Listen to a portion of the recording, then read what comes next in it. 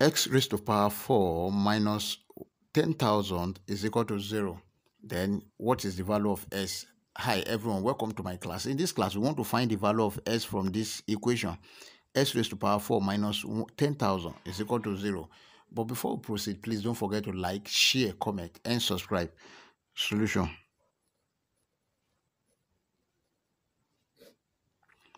s raised to power 4 can be written as s square square minus 10,000 can also be written as 100 square.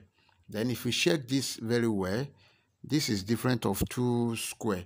That is a square minus b square is equal to a plus b bracket a minus b.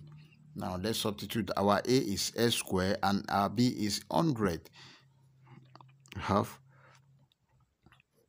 s square plus 100 bracket s square minus 100 is equal to 0.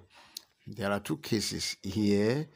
Then s square plus 100 is equal to 0 or s square minus 100 is equal to 0.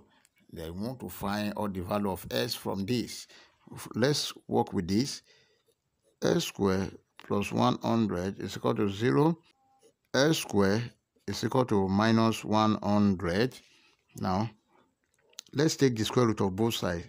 Square root of s square is equal to square root of minus 100 now then this one will cancel this. S is equal to square root of 100 then multiply by minus 1 and we know that square root of minus 1 is equal to i. S is equal to square root of 100i then s is equal to plus or minus 10i.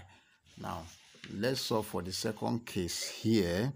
s squared minus 100 is equal to 0. s squared is equal to 100. Then let's take the square root of both sides. Square root of s squared is equal to square root of 100. Then this one will cancel this. s is equal to plus or minus 10.